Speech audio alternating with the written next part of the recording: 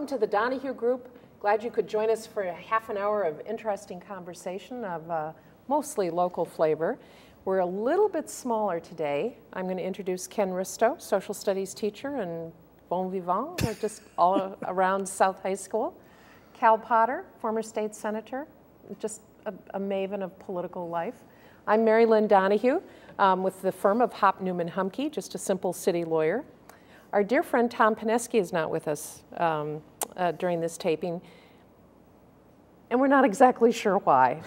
now, just because the Republicans lost, and that and may be the reason. That may, I think not. I think Extended actually he may just not have been able to find a completely black mm-hmm. outfit to show up in, and um, and so he uh, decided to skip. But in any event, we're uh, we're sad that Tom's not here. But uh, Tom,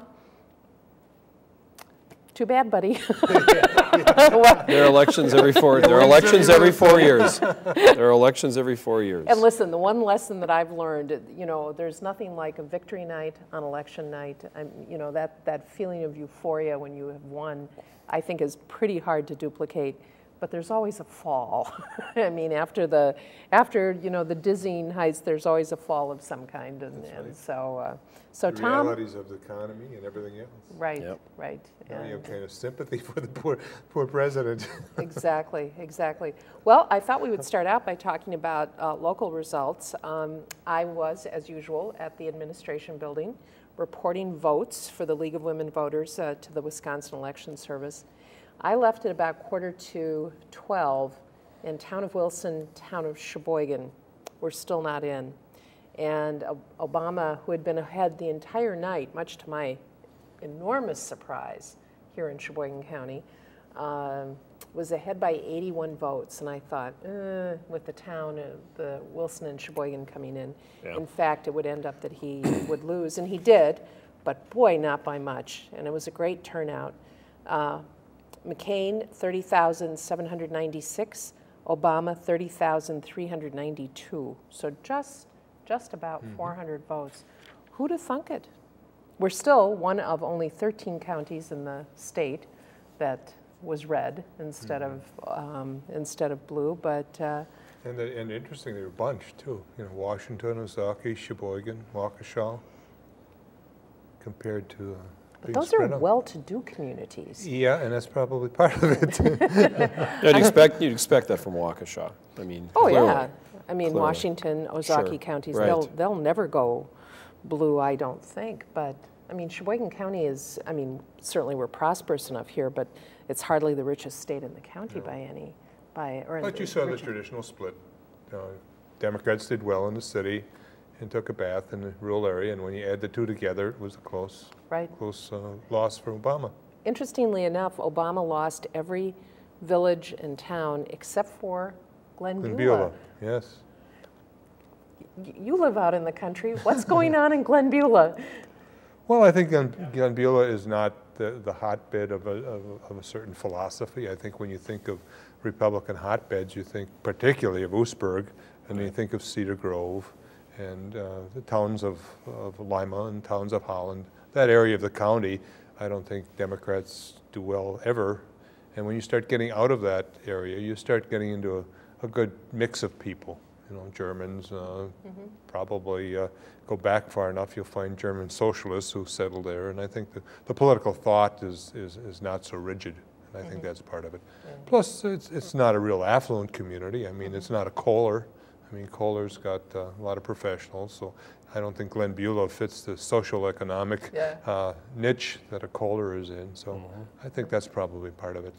I just thought it was swell that, that there would be at least a, a village or a town that uh, that didn't uh, that didn't go red. What was, your, uh, what was your experience in voting? Um, I voted. Uh, we had state testing over at the high school, and I didn't have to proctor on Tuesday, so I came into my polling area at about 8.30 in the morning and I was in and out in 10 minutes and everything was mm-hmm. running like clockwork. Uh, there were, uh, it appeared advisor, I mean, poll watchers for both parties there.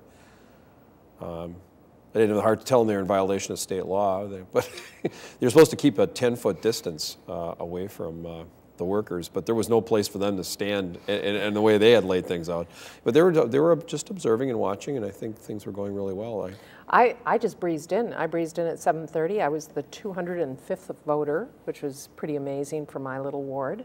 Um, and from what I understand, uh, that experience was relatively universal. There were little bunches, you know, right before work and um, and after work, but by and large, it was much more smooth than it was in 2004.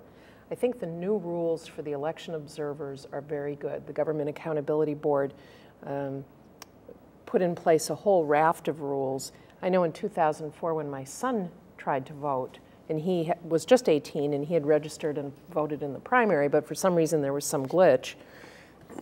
You know, I went in to help him, and there were these people just kind of swarming around us, and there was there were loud voices, and and I was getting a little feisty in my own way, like "Eh, back off and and that sort of thing. Well, I think this is much more peaceable. The, the, the observers need to be six or 10 feet, whatever it is, away from, uh, from, uh, from the, The action, voters and the, the, you know, everybody. Uh, they're not allowed to talk to anybody but the chief, whoever the chief poll person is. Um, so there's no interaction. Because I was yelling at this, well, not me, I don't yell. My voice was slightly You're raised.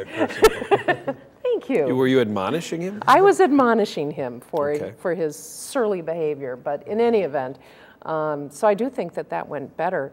But if you look at the photo that was in the Sheboygan Press, it is my understanding that the city clerk's office was inundated with voters Yes, for were. weeks. Yes, Yes. For weeks. yes. And um, as And a, Kevin Kennedy has said that that's something that needs to be addressed because it's really absentee voting is what we have. We don't have advanced voting as what 29 other states do. right, So we really need to address that problem if that's going to be more the norm of how people vote. That this application stuff and then filling it out, it's just a lengthy process that needs to be looked at, I think. right. Well, I And think there was a recommendation today, right? Well, Uh, Kevin that Kennedy they- said he yeah. was going to meet with, with municipal What- clerks, but he had some suggestions, and I don't know if he's advanced those or not. I think he was, there was some discussion that they would allow for early voting and, and do away with absentee ballots is Right. the discussion that they were talking about. Right. Which would make some sense because they were, when I was there, they were uh, opening, I think, I think when you vote, if I understand the process of the city, they, they take those ballots and move them to the precincts. Because they were calling out people, there were some people that were busy and they were calling those out and counting those while I was there. Right. Because I recognized uh, a couple of my neighbors' names who had voted early. Right. My wife had voted early, and she, she walked up and said it was, you know, in and out. You still do need to have absentee voters, or voting for the people who can't make it into the polls. And, um, you know, old people, and my mom got her absentee Right. ballot for every election, and, you know, uh, and they made that easier. In the old days, you had to actually, I think, have your signature notarized, if I'm not mistaken, and that, of course, would be very difficult for housebound people and so forth. So, so I think that, you know, those new, new ideas are, are good ones. Um, You can ask for a ballot after 65 years old to be mailed to you? Was that my understanding? Or if you're And- disabled, or. Or disabled, okay. And my son Michael is in Milwaukee, and, and he had his ballot mailed to him because he's registered in Sheboygan County, but wouldn't be wouldn't be in town for the election, and military folks and so forth. So, so I think there still is a place for absentee balloting. It's just now it's become early voting, and um, and there's got to be a you know a slightly better way.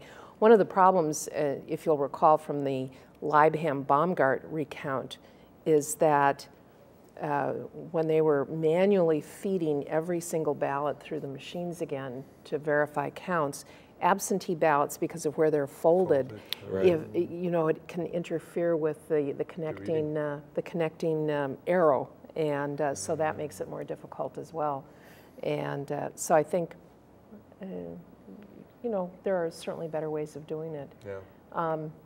We will get into this if we have time in the, in our state uh, section, but um, Attorney General Van Hollen, after losing his uh, voter registration um, lawsuit, is now going to appeal and, uh, and is going to file with Court of Appeals, but they'll probably certify it up to the, uh, to the Supreme Court right away. So, so that'll be interesting to see if and how that's um, taken care of. Yeah. So, in any event, we had some other winners. Um, it was certainly generally a time for uh, incumbents. Um, Terry Van Akkeren won handily. Um, he, um, well, many of us. ward, I think. Yeah, I mean, it was 16,000 to 8,000, uh, pretty much. You didn't, you just didn't see much of a Piper, Alex Piper, the opponent, uh, did not see much of a, a race. I didn't think. Well, I heard he didn't qualify for public financing, which was something that Jose did. And so that means he didn't get a grant of what's eight thousand dollars, which puts you out in the media at least. Right. So if you're, if you're relying on whatever comes in the coffee can as you're, as you're campaigning, you're not gonna be able to do too much, uh, visible media stuff. Right. Well, Which I is didn't surpri- realize that. surprising, because all you need is, uh, I think, ten percent of your spending limit, which isn't a heck of a lot. Usually To- Republicans have an easy time of it, because they just get a few fat cats to write a hundred dollar check, and pretty Now, soon. Cal, Well, it is. I mean, I, I had, you know, I had to go out and big barrel twenty dollars from this person and ten dollars from that person. I didn't have a lot of people writing hundred dollar checks, but, no, that's from experience. No. I mean, when. when we don't have the- Tom here. no, when I was in the legislature, it wasn't uncommon for uh, candidates uh, on the other ticket to uh, have a number of checks written in the zip code of River Hills and so on by people who could write those checks Mm-hmm. Sure. of a hundred or more dollars. And- Sure. And, and you add those up, you know, and pretty soon you get the qualifying threshold to give that candidate eight or thousand dollars for at least buy some media time. Right. So by not doing it, it means somebody dropped the ball on a very elementary thing of a couple, you know, just a little bit of effort. You could have gotten a number of hundred dollar checks signed by people who had, who are dyed-in-the-wool Republicans, and that person then would have well, gotten the grant. Yeah, and I think, um, I don't think the Republicans were going to put any money into this race. And uh, so, so there you go. Yeah. Steve Kestell won handily against his opponent. Um, Yeah, his Bob opponent Cox. unfortunately uh, had bypass surgery, I believe, in the middle of the campaign, which took him out of commission, so. um, Well, then, then his vote total is not too bad. It was 14,000 to 7,000 essentially, so. Yeah, I don't think he campaigned early at all. I knew he was at the fair, and after that, uh, his health problems got him, and Okay. that's the last I saw of him, really. Right. And Glenn Grothman was challenged by an independent. Um, uh, Senator Grothman absolutely schvetzed Mr. Winter. It was almost 10,000 votes to about 2,000 votes, and uh, so um, I think. It's uh, not surprising, I mean, he really beat Mary Panzer very handily. oh, he which did. um, He did. that was somewhat of a surprise, because she was an incumbent, and Mm-hmm. I thought a reasonable lady, and she really got beat by Glenn Grothman, so that shows the devotion to the conservative side in that Senate district. He's astonishingly conservative as Yes, well. he is, very much Um, so. When I um, was still in the school board, I went to legislative breakfasts, and then also with our representation of the county, go to legislative breakfasts from time to time. And uh, I was really astonished sometimes by just some of his proposals. They were really, to me, seemed substantially to the right of Leibham or Kestell. Um, so that was that was interesting. And um, but he's a character. He's. Yes. he's Oh, an interesting guy. He's a lawyer. He's one of four lawyers in the Senate.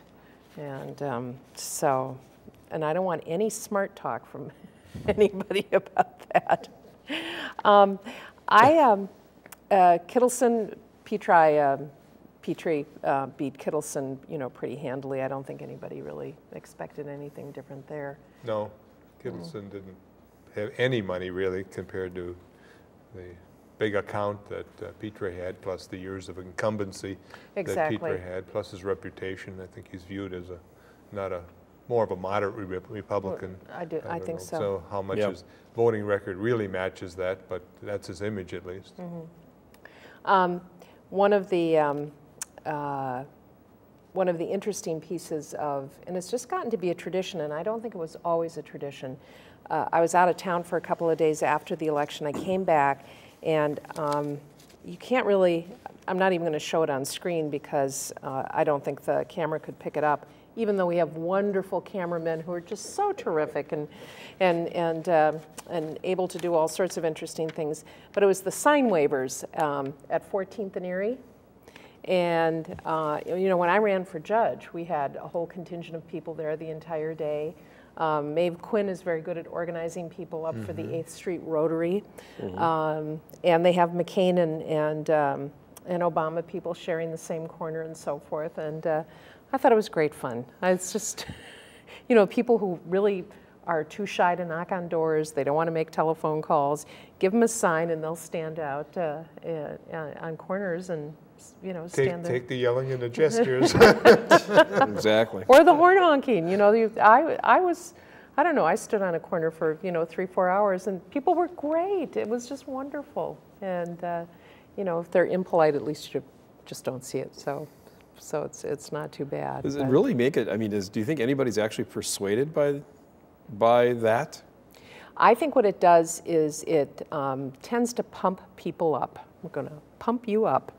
Okay. And um, I do think it does. Um, there, um, it may remind people to vote. And of course, on a presidential election, that's not, not a big deal. But, you know, if in April elections and so forth, it reminds people that, oh, that's right, it's a voting day. And it makes people feel excited about their candidates and, you know, who knows? You know, I don't know how well it worked, but the Obama observer in my polling area, um, I don't think was at all concerned about uh, nefarious activity at the polls. I think what she was doing was it seemed like she was crossing names off of lists, and I know the national Obama plan, I don't know if they did it in Sheboygan, was to, in real time, uh, at a certain point in the day at noon, I guess at 3 o'clock, and, and again at 6 o'clock, they were going to uh, see who had not, from their lists of likely candidate and voters from their canvassing the neighborhoods, they were going to compare that list to who hadn't voted yet and make telephone calls and see if they can actually help people get there and remind people to get there who hadn't voted yet. And I've never seen that happen before. That was pretty interesting business. It's called the Houdini system. And uh, yeah, and that's why the poll worker said you need to say your name and address loudly. So they can hear and So- check off. So they could, yeah. so they could check off. Okay. Um, I was listening to um, National Public Radio uh, discussion of how different Obama's campaign had been, just in terms of doing those intense kind of grassroots things uh, that heretofore have been relatively unknown, um, so that you would actually. And I know when I've been doing canvassing, they want a lot of information from people. And so it's not just going up to the door and saying, gee, I wish you'd vote for Obama or I wish you'd vote for McCain. It's like, you know, what are your issues, dot, you know, and on and on and on. All gets entered into a database. And so that is just one of the ways because the bottom line is you have to get people out to vote. And unless you're in Oregon where you vote by mail, and you know who knows who knows how that system works, but uh, So I don't know how well it worked, really. I haven't. I heard not very. yeah. Well, if you've got to be 10 feet away, you have to have better hearing than I have, I guess, to, to hear somebody's name and then check it off. And Well, again, my poll, my polling area, they weren't. They were sitting literally right at the end of the table, both of them. Um, because of the way the room was set up, I'm not quite sure where they could have stood. Uh, that would have been in compliance with the law. Incidentally, speaking of compliance with the law, Oh, lawyer, lawyer that you are, well, this is exciting. polling uh, signs, uh, yard signs, uh, distance from a polling area. Um, 200 feet. is it 200 or 200 feet? 300? Doesn't make any difference if it's private or public property. It's got to be Well, you 200 shouldn't feet. have you shouldn't have signs on public property for goodness sake. Right. I know that happened in a school board race once Mm-hmm. in a distant galaxy many many years ago, where we had a particular candidate's um, signs in schoolyards, and thankfully that didn't Yeah, they shouldn't didn't be on last too public long. property Yeah, ever. Yeah. No. Okay. But it is, it can be very tricky when you are the candidate to drive around and make sure that there are no signs, Yeah. you know, within X number of feet. And I usually, when I ran, I usually took them down, whether, if they were in a block or so of it, so nobody started saying, where does the 200 feet begin or 300 feet? You know, does it Yeah, begin be- from, like at Wilson School, is it across, is it the mm. sidewalk of Wilson School or is it the front door? You know, so I just took them There were campaign signs right on the entryway of the parking lot of my precinct. well, that, that probably was not a good thing. Yeah. Yeah. And I, I think what happened was, uh, I think folks from that particular party just in the evening just put them up in the hopes that nobody would notice. And my view is if you're going into a polling place and you're going to make your decision based on a yard sign Yeah. that is within 100 feet of the pole. That's really an goodness sake. undecided voter. That's really an undecided voter. And um, so I think, um, you know, in my view, it's probably not a big deal. No. But in any event, it was an historic election, and uh, we'll talk, as I said, more in our next uh, in our next exciting segment about state results and and so forth. But um, it definitely is a sea change. Just wanted to talk about a couple of other things um, coming up at long last, and I think we're all delighted about it. November 15th at 9:30 a.m. The opening of the the ribbon cutting for the new police station, which. Um, really looks like a police station if you've driven by it. it there's, there's nothing Pretentious. charming about the building. I mean, it's, it's all business, which is as it should Sure, be, sure. and uh, came in $500,000 uh, under budget. Um, And uh, so I think, uh, I think that's actually a pretty exciting time Yeah. for, It looks very functional. it does, doesn't it? Yes, it and does. Um, so there, um, there was a long article in the newspaper about um, being able to move into bigger offices, and they really did deserve a better space. So, Oh, so I think that's pretty exciting. It'll be interesting to see how City Hall gets remodeled. Mm-hmm. My own view is the mayor's office should be on the first floor.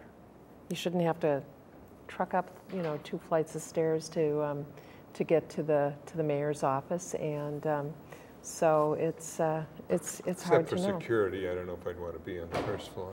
That's what I was thinking. We had that problem in the Capitol. Um, It was always nice for, you know, people to say, well, I'd like to be on the first floor. I says, you don't want to be on the first floor. There's a lot of people who walk into the the- first floor looking very lost. And uh, you end up with people uh, that are there that might not normally come into your office Yeah, I suppose. in these public buildings. And of course, there won't be a police department there to protect exactly. the mayor.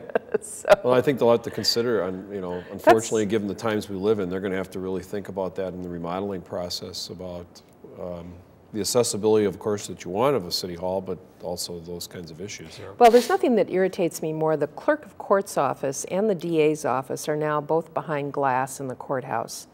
And um, particularly with the clerk of court's office, and I don't mean to be to underestimate the issues that people right at the front have to deal with in terms of people who come in who are irate or whatever. But you know, when you have to yell to get through those plexiglass windows and so forth, um, you know, those are things that I um, that I just think are, I think they're horrible. So, and right now the mayor's office I think is probably off off the screen enough. So you're you're probably right there. So we'll see how that happens. And then I do think we're getting close to the end, but um, just talking about the layoffs that are now starting to affect the community, and um, the um, Kohler is laying off 80. They had previously uh, laid off 50 in the hospitality. The 80, as I understand, is In the brass division. in the brass division. So um, I think um, my sense is hard times are coming. Sure. I don't think we've really seen the ripple effect of the downturn in the auto industry and other Yeah. industries. Uh, When people lose their jobs in those industries and dealerships and others don't do well, it just keeps on feeding on itself. So I think, you know, most people have said we haven't seen the worst of it yet. Right. And uh, I think Lear is going to be laying off. Whenever the auto industry is in trouble, Sure. Lear is in trouble. Exactly. So, uh, so I think that's going to be tough. This is a little off point, but do you conceive of the big automakers like literally shutting down, going out of business? I mean, I don't, No. no, I don't either. I know that there's discussion, of course, with the new administration coming in, and already some discussion. Speaker Pelosi and Majority Leader Reid met with UAW and uh, General Motors and Ford. I know General Motors was in the room. I'm not sure about Ford. And they're looking for another, what, $35 billion, another $30 billion uh, to uh, get them through the next year or so, because I think that if they can get out the end of that year, they, they're going to be okay.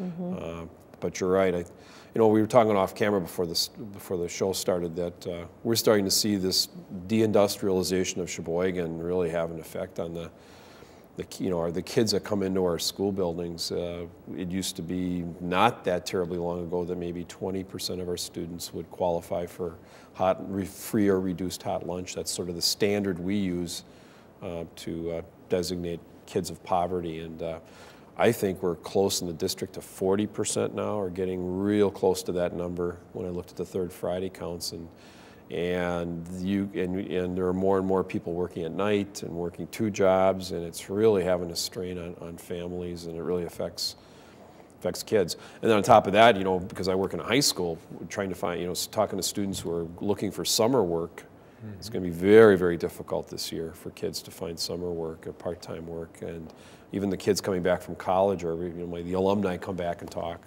and check in a little bit with me, and they are having the same experiences too. So it's going to be a tough summer all the way around for employment.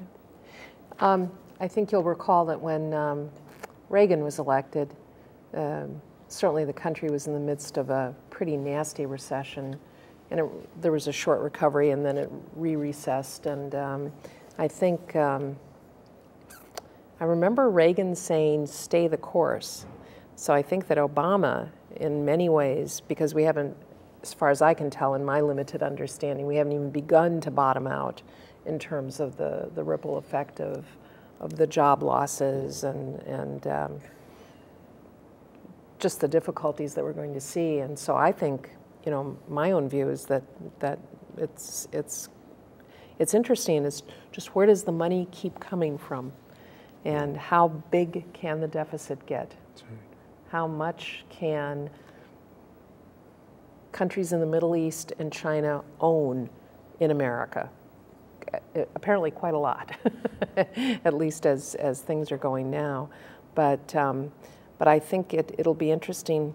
Kohler, I mean, the Kohler Company, considering that it has, I think, 35,000 employees worldwide, has been very loyal to Sheboygan mm-hmm. and loyal to a workforce, a good workforce, but one that's been obviously unionized for, for many years and, and is well paid and has decent benefits and you know long and hard fought over. But uh, um, I'm just I just don't see the I don't see any light at the end of this particular grim, grisly tunnel, and uh, just the election of Obama. I don't, I don't think that solves those problems. Nope. Absolutely not. Well, you look at the, you know, the state, we'll maybe talk maybe the next, next uh, segment of our show about the state budget, but I don't know how, given the state finances, they're going to be able to meet their commitments to, to local education this, this next budget. Uh, exactly. And if that happens, you're going to see local school districts like Sheboygan, whose student enrollment has really pretty much leveled out now, give or take, you know, 10,000, give or take a couple of dozen here and there um, they're going to have some really difficult times. And so there's going to be some real tough choices facing our local school board, I suspect. We're already talking and about places like Plymouth cuts. where the referendum didn't yep. pass and they were a low spending district to start out with. Yeah. yeah. And boy, the, the Mark Ryan in particular worked that very hard and, and Clark Reinke, the, the, the superintendent, and that really is a heartbreaker for those folks. Well, we must bid adieu, but hope that we will see you again.